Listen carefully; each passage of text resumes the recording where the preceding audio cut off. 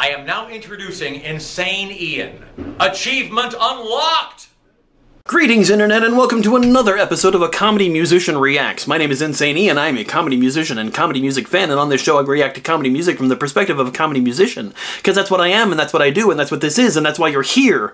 This week, we are here checking out Planet of the Bass by Kyle Gordon uh, featuring DJ Crazy Times and Miss Biljana Electronica.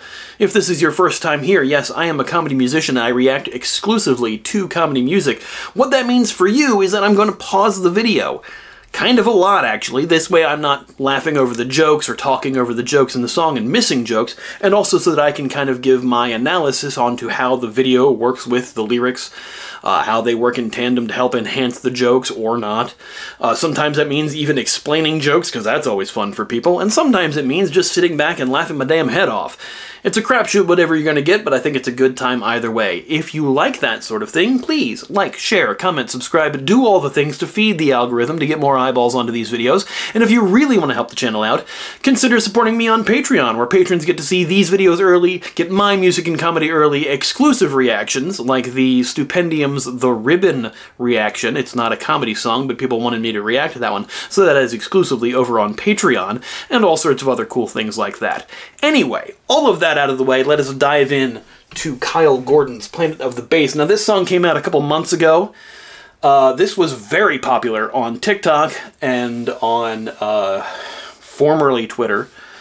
Uh, Kyle released a couple of clips of this as like what every 90s electronica song sounded like. And it was Planet of the Bass. This is the full video, however. Now, when Kyle was releasing some of these online, he'd release one, and then a couple days later, it was the same section of the song, but the person who was Biljana Electronica was a different woman. And they did it three times. So there were three different Biljana Electronicas. And I'm guessing DJ Crazy Times would be Kyle Gordon's character. Um, but uh, this blew up. This has got millions of views already uh, based on that, so that is phenomenal. Kyle has released a couple other songs since then, uh, and I will be checking those out later, but for now we are just checking out The Planet of the Bass.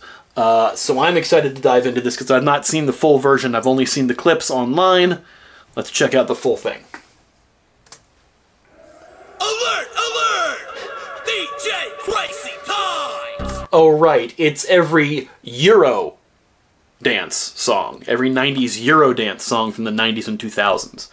Uh, not just electronica songs, but Eurodance specifically. Um, that's why we had a translation on the screen. That's, uh, yeah. Alert! Alert! DJ Crazy Times! If you want parties to be making, have some noise! if you want parties to be making, have some noise. That's that's the other genius part of some of these songs is like the bad translation to English that the lyrics clearly went through. And also, I love the lyrics lighting up as if even this spoken word part is a sing along. That's genius. Uh, Bratislava I don't know where that is. I don't know if that's a real place. I could be wrong, but if I'm wrong, let me know. But I think that was made up for this so that we're not offending any actual places with bad translations. Whatever. Eh, comedy. Bratislava! All the women in the world! Let me see your beautiful faces! oh, I've got an idea. World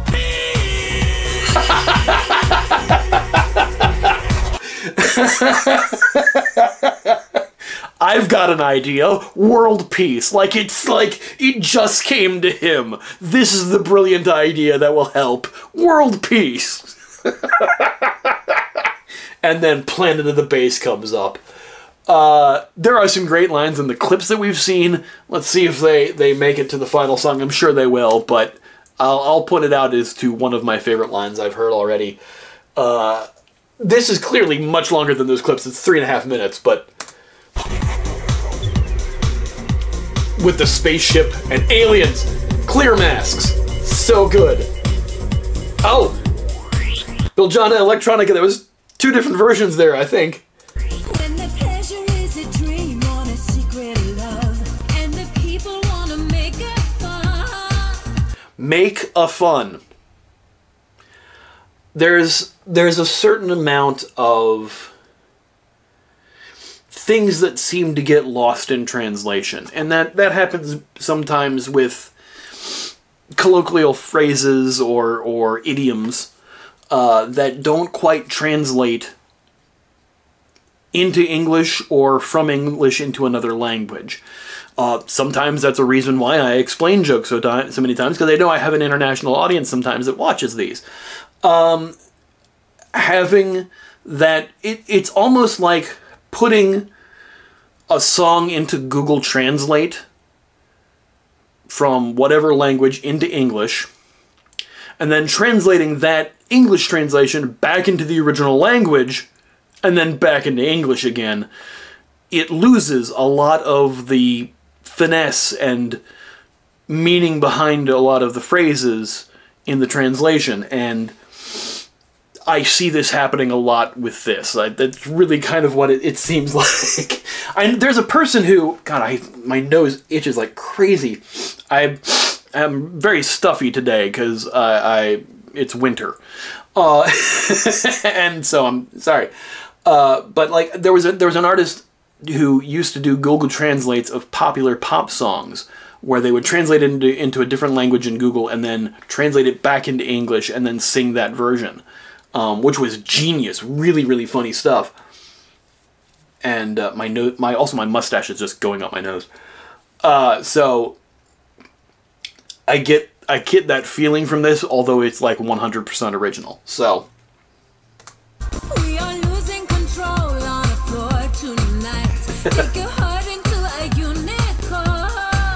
Take your heart into a unicorn. Yeah, that's something that seems like it got lost in translation. What the hell does that mean?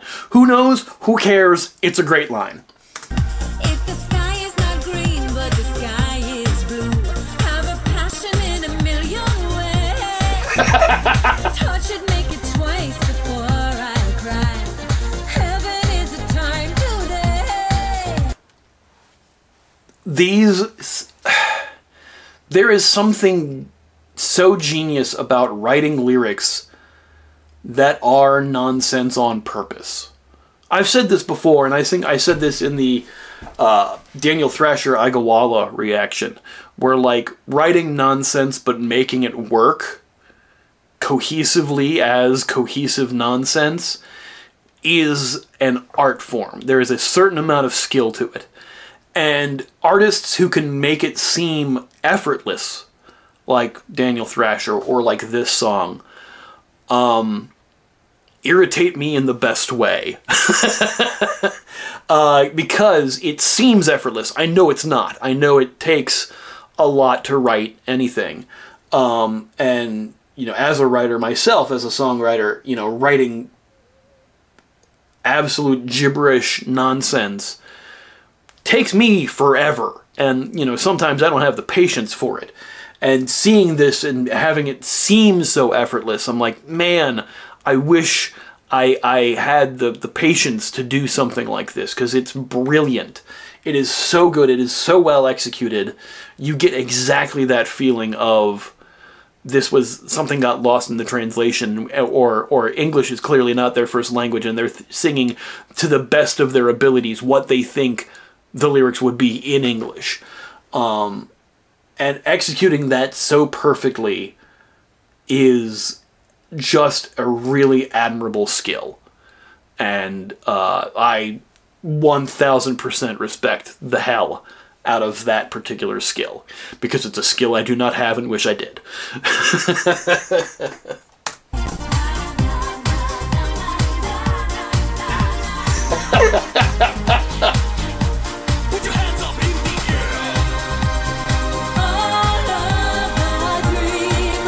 to be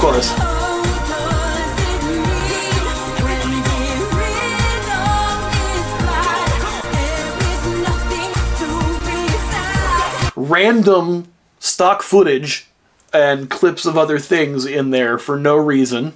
It's like every 90s, early 2000s video I remember seeing. Uh, there is nothing to be said. How does it mean? That's a thing that, that seems to trip up people uh, when translating to English is sometimes the the beginning question who, what, when, where, why, and how get misused. Which one are you supposed to use in which case?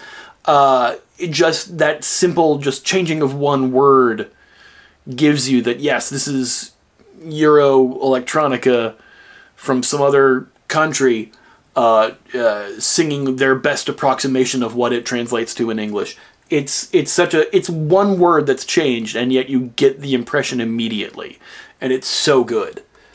And that chorus, that chorus is phenomenal. It is every '90s, 2000s, uh, early 2000s uh, dance electronica song female vocalist, but also the random DJ who also thinks he's a rapper, throwing in ad libs of "Come on, come on," uh, just absolutely brilliant.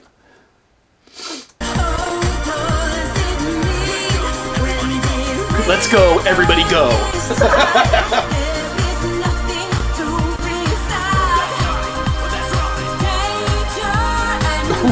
A sandwich and a dildo.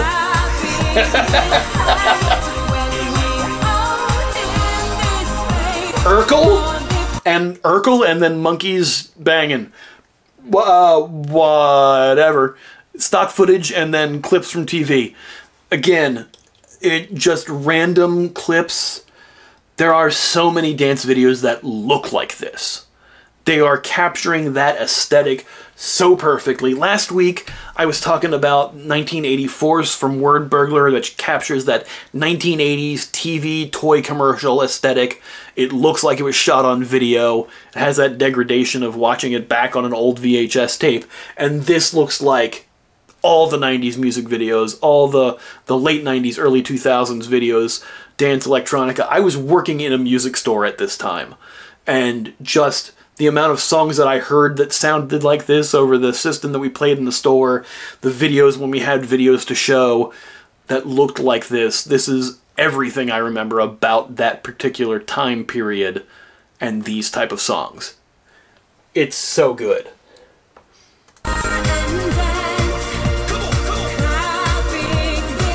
Danger and Dance and Clapping the Hands. Man, there are some great, like, it's great lyrics and also very evocative of the style that they're doing, but also the rhymes that they make work, even with the translation issues, are still so good. It, it really elevates the style.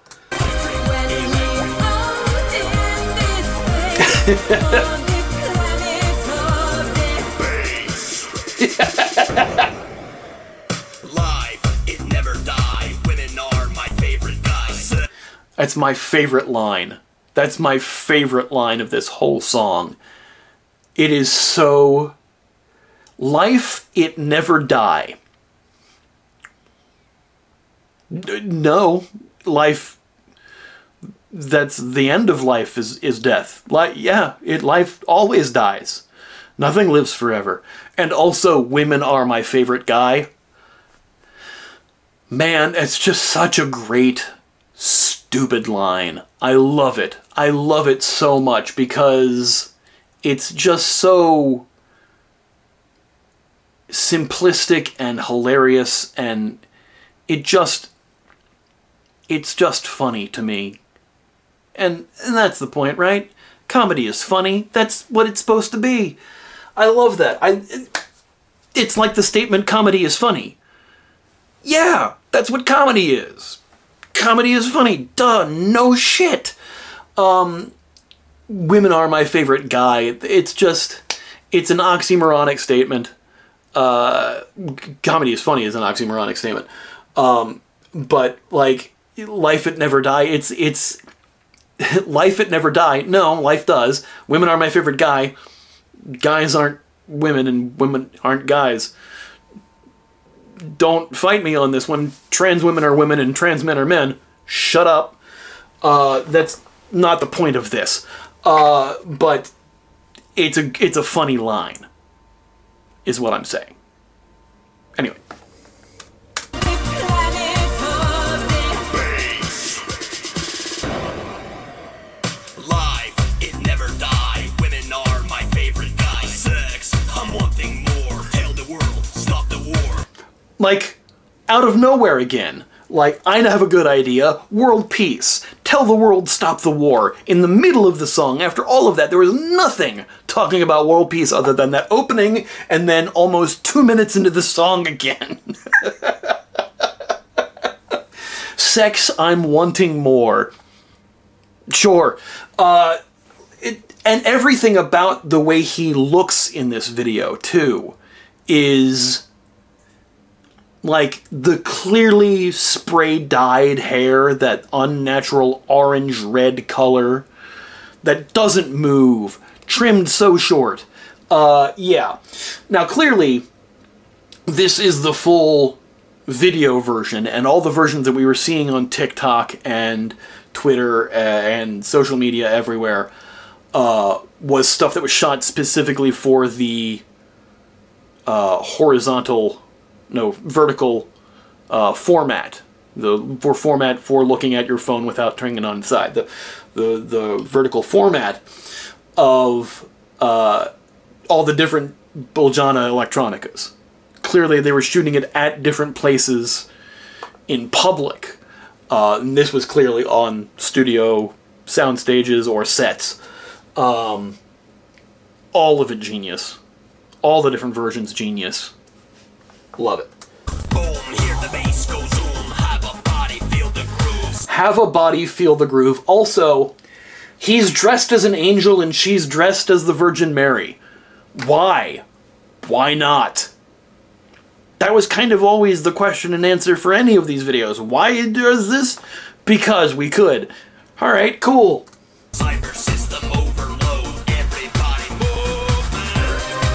That's the bet. That's the other best line. Everybody movement. Not everybody move. Everybody movement. Again, lost in translation. Just that slightly, slightly off. That you realize, you know, English isn't their first language. Just, and it's not making fun of something like that. It's just kind of bringing the realization that commonality. You know, sometimes you find humor in the commonality of things. You realize that you know there's that particular style of, of speech that is like, oh, you've almost got it. You're not quite there. And, you know, us having that shared experience of speaking with somebody or hearing somebody talk that doesn't have that, that that's where the humor derives from, not making fun of it per se.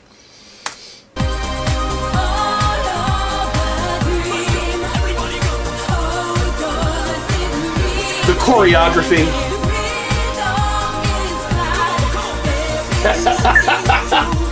become the human. Yes, because she is an alien. She's on the alien ship. They materialized her. This it has a plot. It's okay.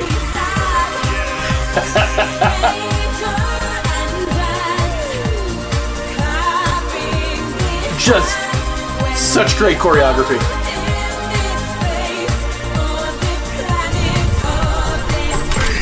Oh, he's getting abducted.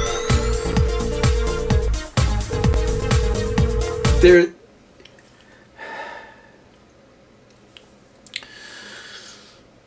Music videos are weird. Let's be honest. If they're anything other than the band performing the song and they're given some sort of plot, they're like little miniature movies, right? They're like little miniature movies that are just set to music. The song itself is is the soundtrack to this little mini movie that we're watching. It's kind of been the universal thing for music videos when they started making them like that. When it was more than just here's the band playing the song and you're watching that, it's a music video. It's it's a video of the band or something tangentially involved with the band, and this is the story that they're hoping the song gives you a, an evocative notion of.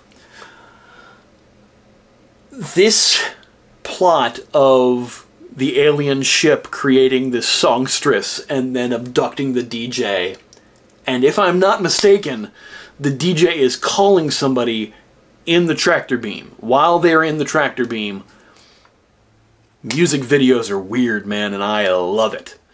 Holy shit. Hello,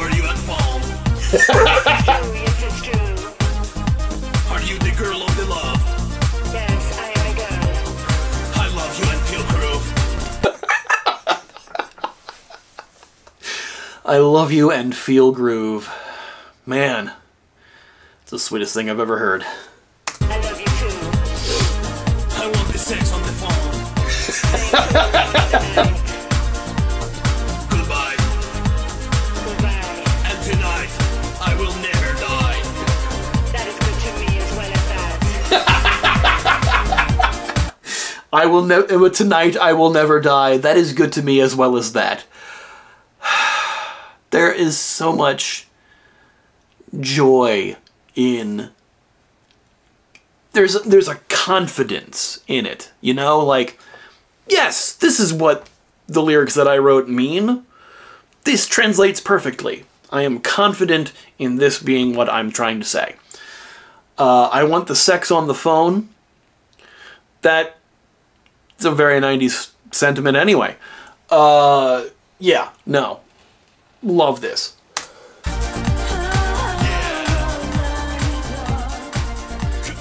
That outfit of a vest with no shirt. And the ET touch and the whole. World peace. The future is the way of that. It's so good. Like holding a CD. Who buys CDs nowadays other than me? Not a lot of people. Um, but it's just so. It's just so evocative of that time period and that style. Top to bottom, front to back, 100%. Just an absolutely perfect pastiche. Bravo, Kyle Gordon and Associates. That's phenomenal. Yeah. And there's original 1997 VHS version of that. Uh yeah, that's that's hilarious and phenomenal.